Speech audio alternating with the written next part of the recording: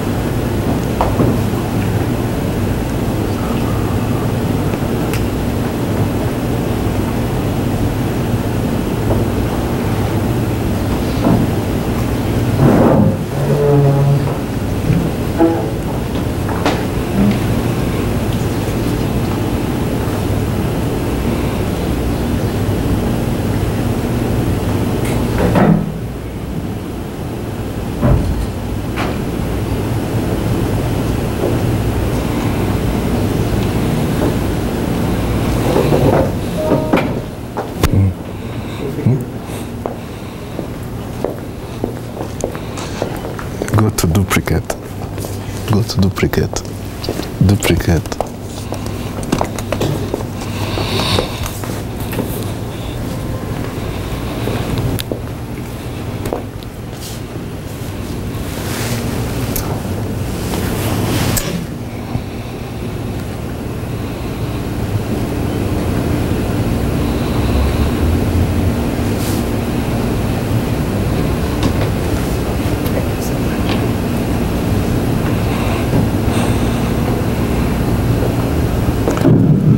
Never mind. Just the maybe they raised the first one, which was the the introductory.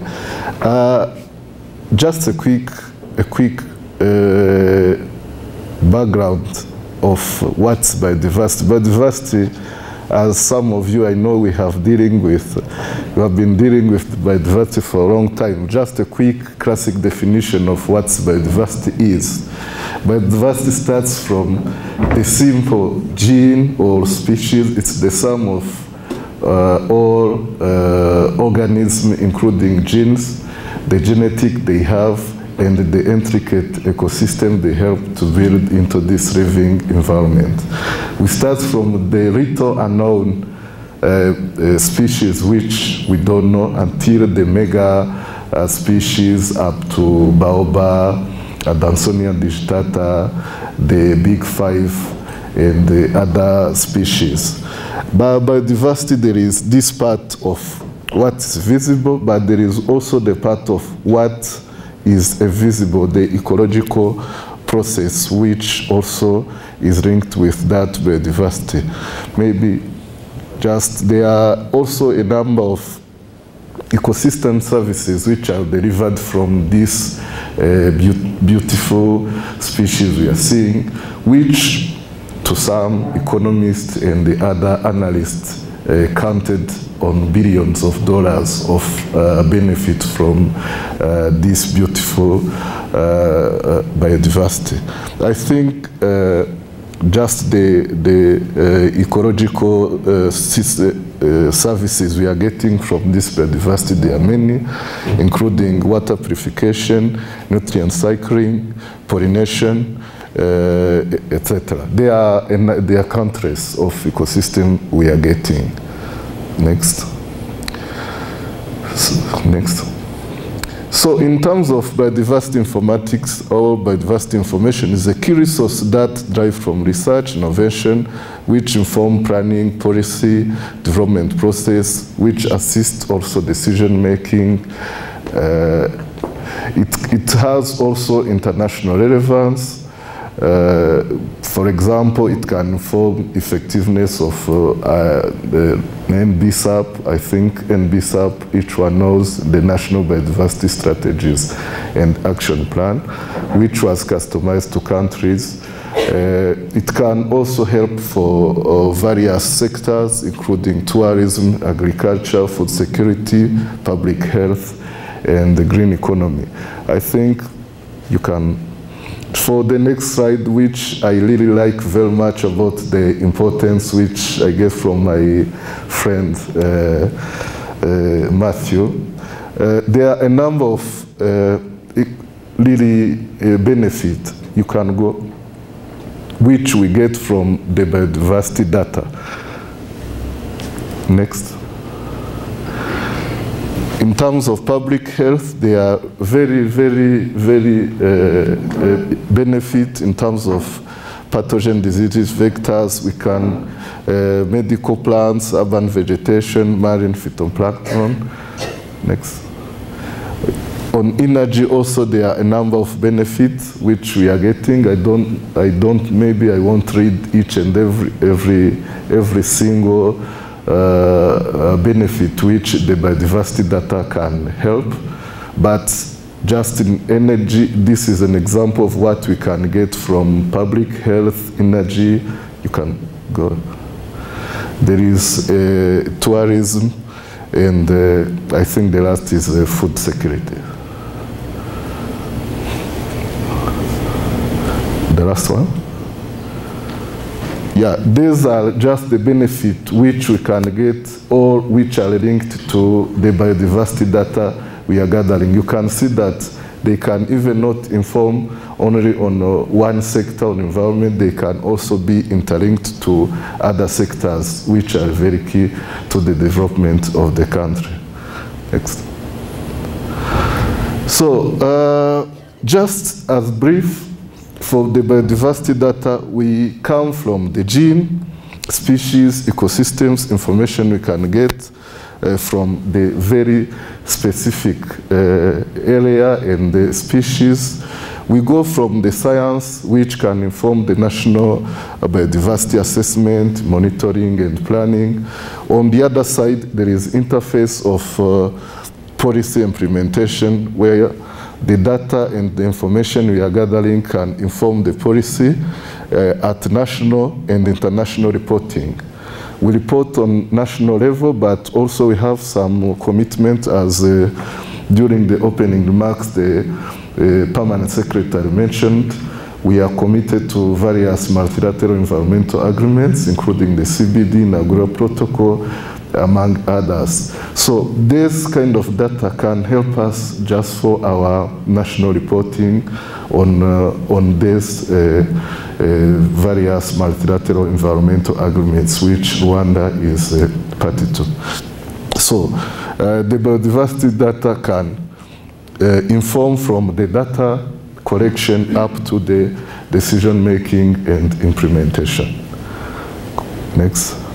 So in terms of legal framework, of course, Rwanda has developed a number of uh, enabling policies and uh, legal instruments to make sure that uh, the data collection, data acquisition and utilization, and even information uh, sharing is uh, well captured. Uh, I just mentioned a few of them. Uh, uh, we have a national biodiversity policy, we have a biodiversity law of 2014. There is wildlife policy. We are currently working on wildlife law. Uh, we have since 2016 the National Biodiversity Strategy and Action Plan. Uh, there is also institutional arrangement uh, including the Ministry of Environment currently since uh, 2018, but uh, the mandate also has been uh, carried on by other uh, specific uh, ministries, including the Ministry of Nat uh, Natural Resources previously. We have Rwanda Development Board, we have REMA, we have further NGOs I didn't want to name, but I know a number of partners here. They are really key in uh, data in uh, data management. I can see Felix from uh, uh, Research Center that have been doing the research for more than 50 years in Rwanda. So there are WCS, there are IGCP, there are a number of other international organizations who are working on data management and uh, uh, have been tremendously helping us even to, to gather the data we are currently having.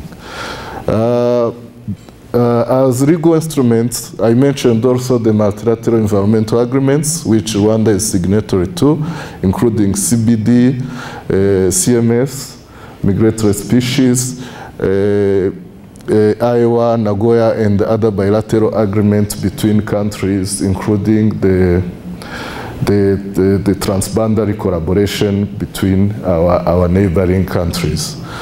So, uh, there are also a gazetting of key important biodiversity hotspots. So far we have uh, four uh, official national parks and the other key important hotspot like uh, Ramsar uh, site, like Rugezi wetland, and so forth. So uh, since 2005, I mentioned Nyungwe and Gishwati. We also have involvement of private sector. Uh, here I wanted to, uh, to just highlight the, the uh, Akagera Management Company owned by Africa Parks, African Parks and and the government of Rwanda. There is IMIZI, which maybe will be managing or will co-manage the Gishwati Mukura National Park shortly. Uh, there is also an intense resource mobilization and uh, from the various donors. Continue. So uh, this is just an uh, a, a, slide showing how biodiversity is also linked to SDGs. There are a number of SDGs which are linked to biodiversity. Just uh, you you know the the SDG 15. Uh, continue. There is SDG 3, good health and well-being, SDG 8, uh, there's 13, there's 17, and so forth. Uh, just. However, challenge remains. And uh, I think through the training for the ones who are not Rwandans, the challenge remains. Data are scattered. Just all, all have been collected for a long time. They are in various formats and they are not well synchronized to make sure that they, are, they can even have an easy access. I think this is one of the challenge which we are trying to to overcome thanks to South African National Biodiversity Institute and the JRS Foundation and the other partners who are helping us. Uh, there is limited adequate infrastructure. You know, these days technology is very advancing, capacity to manage, to stock and to uh, access data is very limited and we need also to cope with uh, that uh, very evolving, fast evolving technology. There, there are ongoing efforts, maybe you'll hear from further presentation like digital, digitalization of herbarium and so forth. So we still have limited adequate infrastructure to really manage this biodiversity data we have. There is also, we need to admit, there is a limited capacity which I think uh, through the ongoing trainings and uh, further collaboration we are trying to address, but we need to admit that we still have uh, this uh, uh, limitation. Uh, and uh, just I mentioned about the digitization of data. Continue. Uh, we are thinking of uh, the diversity information facility. Uh, uh, Permanent Secretary mentioned it. There are a number of uh, uh, institutions which are helping to make sure that we came up with a, a well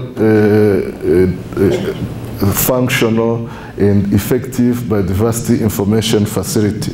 There are a number of institutions who are data holders and who we want at least to make sure that we have a kind of uh, a centralized system which can enable whoever, whether a researcher, decision maker, or even a foreigner to access easily uh, all the data we have.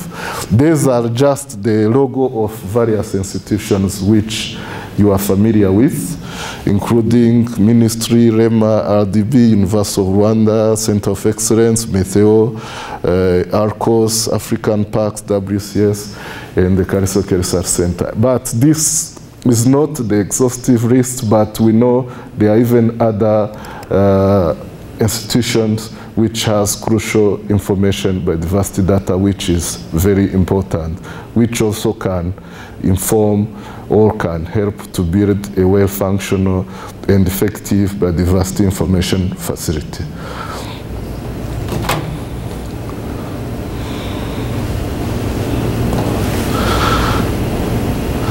So, uh, continue. I, I won't go uh, much in deep about why we really need, uh, need biodiversity because I mentioned earlier, but there are a number of benefits to have really a well-coordinated biodiversity information for easy access, for common standard and practice, for technical platform, for even capacity building and uh, for uh, managing uh, information between organizations. I think I mentioned it through my presentation. I just want to go through for the interest of time. You can. These are just the benefit of really a well-functional biodiversity information uh, facility. Come. So uh, I think this is also credit from Seulin. It shows how the biodiversity information facility is central and is the, the core uh, uh, having it really can serve from even the, uh, the genetic species ecosystem, standard quality control of information, the social media, the governance structure, or how really having decentralized biodiversity information can inform all sectoral uh, part of the community, even on uh, well and uh, standardized data. So uh, as they mentioned, this was their first biodiversity information forum which took place here in this hotel last year in October, and a number of stakeholders just uh, uh, just attended. in total, we, we had more than 30 people, and we had really a good exchange and a kind of review of what kind of data we have, what are the challenges from various sectors, and two uh, of the uh, outcome of this forum was to create a kind of core task force to now to govern to uh, the, the establishment of biodiversity information facility. Uh, and now to have even a concept note on how this can be done, uh, do a SWOT analysis on benefit, weakness, and the opportunities, and uh, trying to have a kind of a bankable uh, project which can be a help for resource mobilization on establishing a well-functional biodiversity information facility. Uh, this was just the logo of the BMF we had. Uh, continue. And this was just uh, the objective. Next. Uh, these are the, the outcomes which I mentioned. Next. Next. Uh, these are the task force members, including the Ministry of Environment, REMA Center of Excellence, NIRDA, uh, Rwanda Development Board, RWAFA, uh, ARCOS, and the National Commission for Science and Technology. This is just a core team of uh, which we intend to drive the establishment of biodiversity information uh, facility. Next. Uh, we had the first task force meeting in April, and uh, we are now in, in phase of developing the concept note, and uh, we intend to have the second biodiversity information uh, forum late in October or early November. We are still yet to confirm the date, but I also take the opportunity to invite whoever is interested in this kind of forum just to join us. I thank you very much. I think this is, was my, the last of my presentation.